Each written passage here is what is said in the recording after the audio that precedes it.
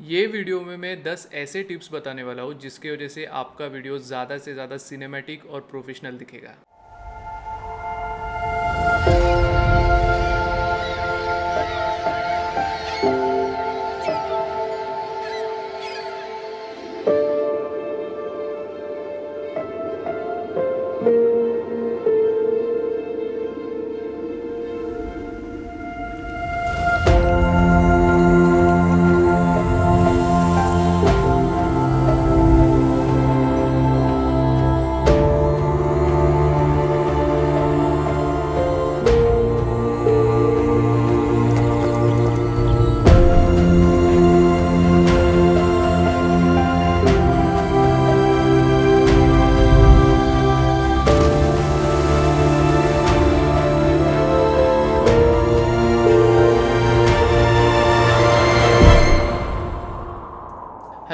Wonders welcome back to channel I hope आपने cinematic sequence enjoy किया रहेगा।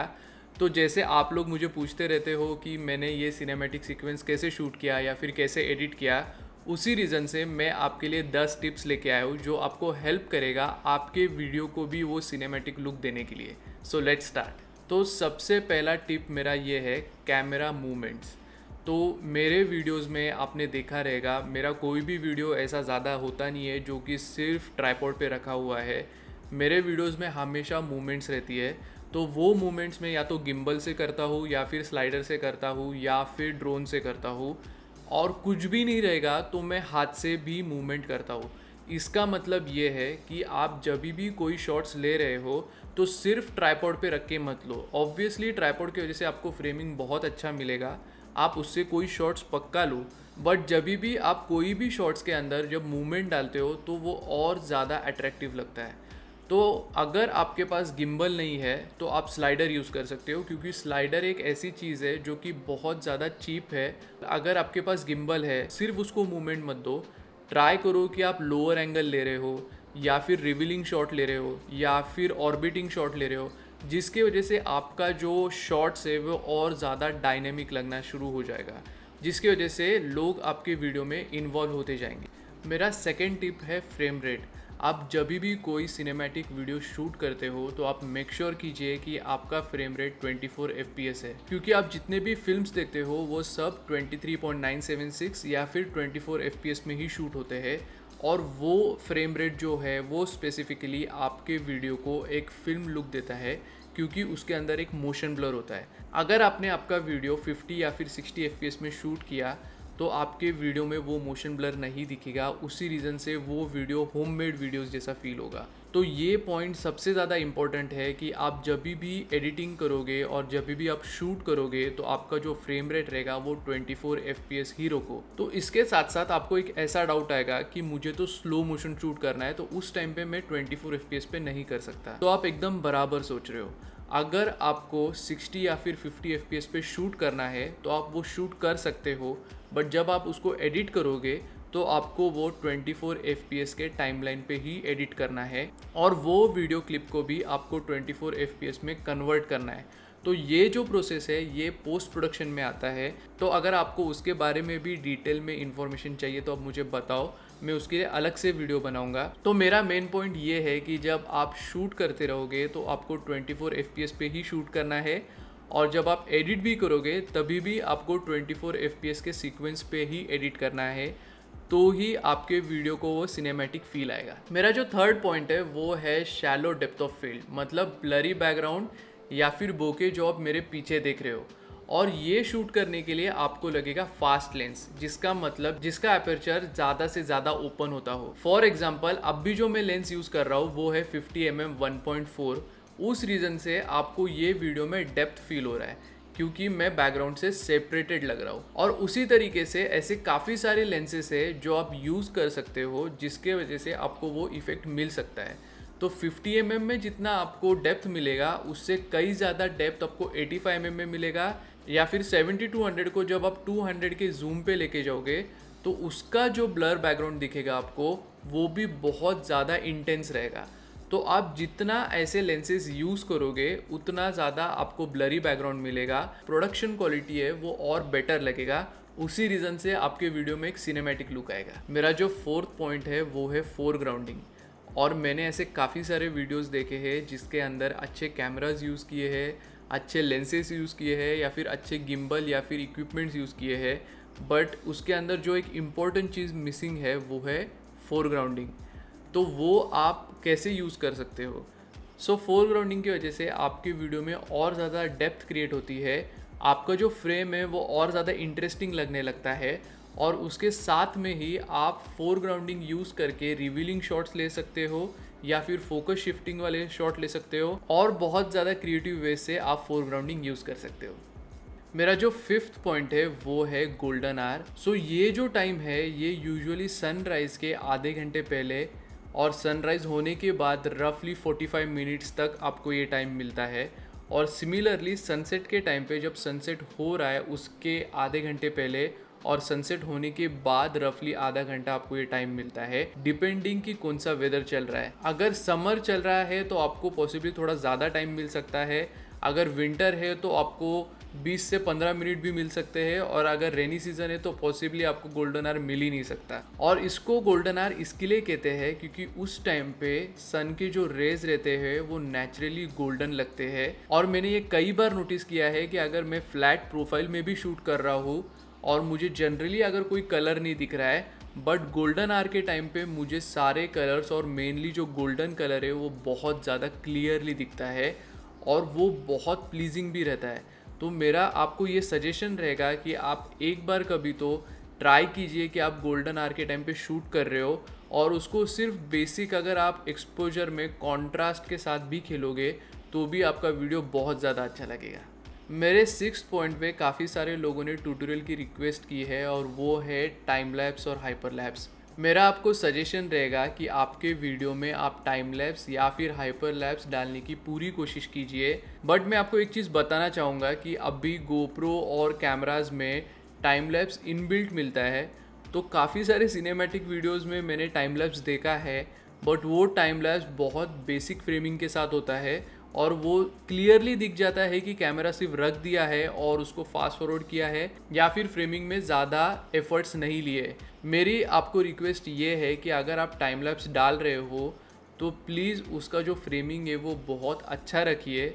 सिर्फ़ क्लाउड मूवमेंट हो रहा है या फिर लोग बहुत ज़्यादा फास्ट मूव हो रहे हैं तो वो टाइम लैप्स अच्छा लगेगा ही, ऐसा ज़रूरी नहीं है। तो वो आप मेक श्योर sure कीजिए कि आपका फ्रेमिंग अच्छा है। और अगर आप हाइपरलैप्स डाल रहे हो तो सिर्फ़ मूवमेंट हो रहा है, ये मत कीजिए, आपका हाइपरलैप स्मूथ भी है और उसके साथ साथ फ्रेमिंग भी उतना ही अच्छा है, ये भी आप माइंड में रखिए। अगर ये दोनों चीज़ें आपके टाइम लैप्स और हाइपरलैप्स में रहेगी तो ही आपका वीडियो सिनेमैटिक लगेगा। अगर आप सिर्फ़ डालने के लिए टाइम लैप्स डाल रहे हो तो आपका वीडियो कभी भी सिनेमैटिक नहीं लग सकता।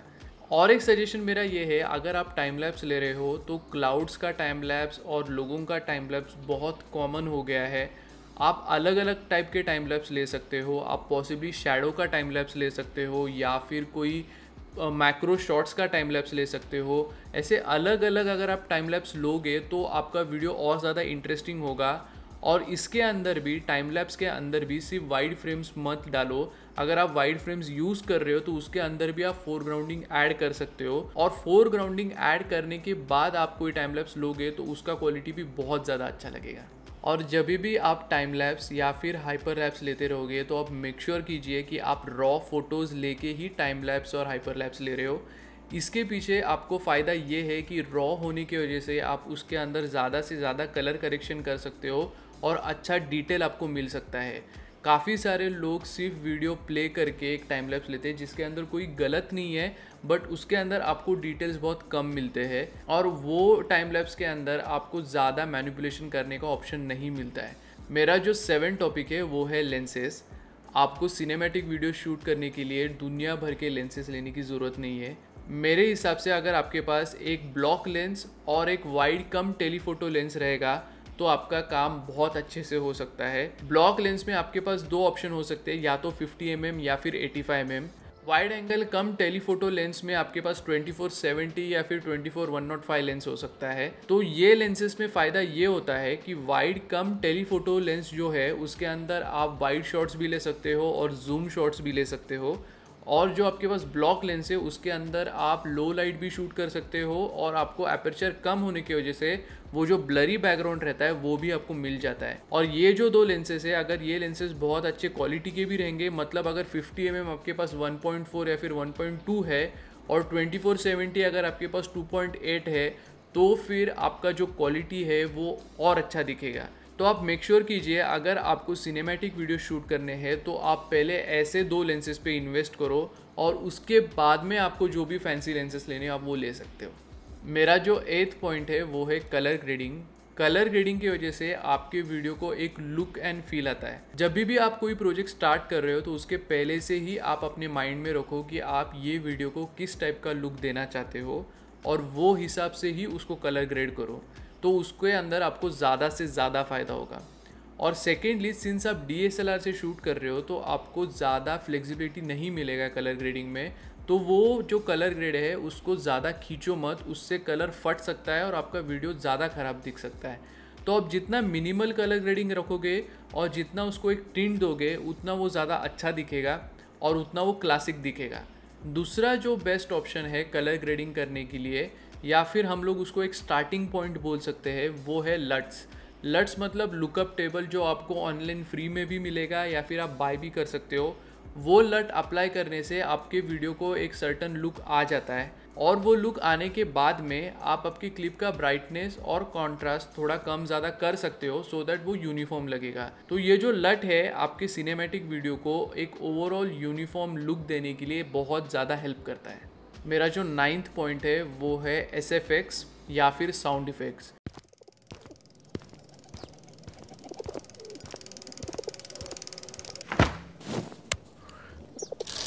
जब भी आप साउंड इफ़ेक्ट यूज़ करते हो तो देखने वाले को ऐसा फील होता है कि वो एक्चुअली वो सीन पे अवेलेबल है, या फिर वो लोकेशन पे अवेलेबल है, क्योंकि वो साउंड इफ़ेक्ट उसको इन्वॉल्व कर देता है वो लोकेशन को ज़्यादा अच्छे से फील करने के लिए। इसका मतलब अगर आपने किसी वाटरफॉल को शूट किया है, और अगर आपने वो वाटरफॉल का साउंड इफ़ेक्ट उसके पीछे डाल दिया तो ह्यूमन टेंडेंसी ये होता है कि अगर आप चीज़ कोई देख रहे हो और उसके साथ वो चीज़ सुन भी रहे हो तो ज़्यादा नेचुरल फील होती है। बट अगर आपने वही वाटरफॉल नॉर्मली प्ले किया तो इतना ज़्यादा डिफरेंट नहीं लगेगा बट जो देखने वाला है, वो उतना ज़्यादा इन्वॉल्व भी नहीं होगा। और मेरा सजेशन ये है कि जब भी आप कोई सिनेमैटिक वीडियो शूट कर रहे हो तो उसी टाइम पे एक पाँच से दस मिनट का एक एम्बियंस साउंड आप वहीं पे रिकॉर्ड कर लो क्योंकि वो जो एक्चुअल साउंड रहेगा वो एम्बियंस का अगर आप वो अपनी वीडियो के नीचे डालोगे तो वो बहुत अच्छा फील देगा और उसके साथ साथ आपका एक एडिशनल स्टेप पोस्ट प्रोडक्शन में बच जाता है वो मतलब ऑनलाइन साउंड इफ़ेक्ट सर्च करने का। क्योंकि एग्जैक्ट साउंड इफ़ेक्ट मिलना कई बार इम्पॉसिबल हो जाता है। उस रीज़न से अगर आपने वो ऑन लोकेशन पे ही शूट कर लिया तो आपको बहुत ज़्यादा फ़ायदा होगा और यही सब कुछ फीचर फिल्म्स में भी होता है। काफ़ी सारे लोग डॉक्यूमेंट्रीज़ में और फीचर फिल्म्स में जो एक्चुअल साउंड है वो लोकेशन का, वो अलग से रिकॉर्ड कर लेते हैं और फिर उसको वो डॉक्यूमेंट्री के नीचे ऐड कर देते हैं वो फील आने के लिए। तो जैसे मैंने आपको बोला, कुछ साल पहले तक मैं भी साउंड इफ़ेक्ट इतना ज़्यादा यूज़ नहीं कर रहा था बट 2017 में मैंने डनकर्क मूवी देखा क्रिस्टोफर नोलन का, और उसके अंदर जो साउंड इफ़ेक्ट यूज़ किया है वो बहुत ज़्यादा नेक्स्ट लेवल है। अगर आपने वो मूवी नहीं देखा है तो मैं आपको सजेस्ट करूँगा एज अ सिनेमाटोग्राफर या फिर एज अ फ़िल्म मेकर आप वो मेक श्योर sure कीजिए कि वो मूवी आप देख रहे हो और वो साउंड इफ़ेक्ट ही बहुत ज़्यादा इम्पोर्टेंट रोल प्ले करता है वो मूवी में। और वो देखने के बाद मैं इतना ज़्यादा इंस्पायर हो गया साउंड इफ़ेक्ट के लिए कि अब जब भी मैं कोई भी वीडियो डालता हूँ, या तो वो सिनेमैटिक वीडियो होने दो, या फिर कॉरपोरेट वीडियो होने दो, या फिर मोस्ट रिसेंटली जो हम लोग वेडिंग फिल्म्स भी कर रहे हैं, उसके अंदर भी हम लोग कई बार साउंड इफ़ेक्ट ऐड कर देते हैं। वो एक फील आने के लिए। मेरा जो लास्ट पॉइंट है, वो है सिनेमैटिक बार्स सिनेमैटिक बार्स जो है, वो आप अपने वीडियो में पोस्ट प्रोडक्शन के टाइम पे ऐड कर सकते हो, जिसके वजह से आपकी वीडियो को वो सिनेमैटिक लुक आ जाता है। पर्सनली मुझे ऐसा लगता है कि सिनेमैटिक बार अपने वीडियो में ऐड नहीं करना चाहिए। उसके पीछे कुछ रीज़न्स है। और वो रीज़न्स ये है कि जब हम लोग डीएसएलआर से शूट करते हैं तब हम लोग एक फ्रेमिंग रखते हैं और वो फ्रेमिंग अपने एलसीडी पे जो दिखता है, वो हिसाब से हम लोग लेते हैं। तो सिनेमैटिक बार ऐड करने से हम लोग वो फ्रेमिंग को डिस्टर्ब करते हैं क्योंकि जो ऊपर का हिस्सा है और नीचे का जो हिस्सा है, वो क्रॉप हो जाता है। और सेकेंडली जैसे मैंने आपको बोला कि हम लोगों ने कोई फ्रेमिंग किया है और वो हिसाब से हम लोगों ने शूट किया है तो जब हम लोग सिनेमैटिक बार ऐड करते हैं तो पॉसिबली कोई शॉट्स पे वो बहुत ज़्यादा अच्छा दिखेगा बट आप ये माइंड में रखो कि अगर आपने कोई क्लोजअप लिया है जो कि एंड टू एंड है, और जब हम लोग सिनेमेटिक बार उसके अंदर ऐड करते हैं तो पॉसिबली फोरहेड कट हो सकता है या फिर उसका चिन कट हो सकता है, और वो जो शॉट है, वो अगर कोई इमोशन पोर्ट्रे कर रहा है तो वो कट जाने की वजह से वो इमोशन पूरी तरीके से दिखेगा नहीं। जो भी इम्पोर्टेंट चीज़ है, अगर वो कट हो रही है तो फिर वो सिनेमैटिक बार का कोई मतलब नहीं। उस रीज़न से पर्सनली मैं मेरे कोई भी वीडियो में सिनेमैटिक बार्स ऐड नहीं करता। और मैं आपको और एक चीज़ बताना चाहूँगा कि जो मेन सिनेमा कैमराज है, जैसे रेड और एरी वो वही एस्पेक्ट रेशो में शूट करते हैं। उनका जो एस्पेक्ट रेशो है, वो बहुत ज़्यादा वाइडर है और अपना जो एस्पेक्ट रेशो है, वो थोड़ा सा स्क्वेरिश है। तो वो ऑलरेडी एक वाइडर एस्पेक्ट रेशो पे ही शूट कर रहे हैं। तो उनको ऑलरेडी पता रहता है कि वो लोग क्या देखने वाले हैं स्क्रीन पे। बट फिर भी अगर आपको सिनेमैटिक बार्स यूज़ करने हैं तो उसमें कोई भी गलती नहीं है। काफ़ी सारे लोग सिनेमैटिक बार्स यूज़ करते हैं और वो लुक भी बहुत अच्छा देता है। तो अगर आपको यूज़ करना है तो आप पक्का यूज़ कीजिए। और ये तो पक्का है कि सिनेमैटिक बार ऐड करने से एक सिनेमैटिक लुक आता ही है। सो so गाइज़ ये वो दस टिप्स है जो अपने फॉलो करनी चाहिए आपके नेक्स्ट सिनेमैटिक वीडियो के लिए। और आई एम श्योर अगर आपने ये फॉलो किए तो आपकी वीडियो बहुत ज़्यादा अच्छे दिखेंगे। सो आई होप आपको ये वीडियो अच्छा लगा रहेगा और अगर अच्छा लगा रहेगा तो लाइक कीजिए कॉमेंट कीजिए और चैनल को सब्सक्राइब करना मत भूलिए। Bye guys